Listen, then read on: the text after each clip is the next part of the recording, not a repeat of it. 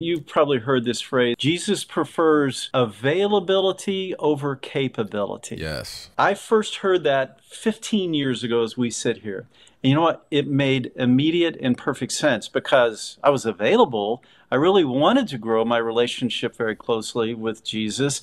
And I was around a couple of guys that were modeling and mentoring me, but I knew that I really lacked fancy mm. Bible knowledge or or lengthy flowery prayer. That was not me. But Jesus prefers availability over capability.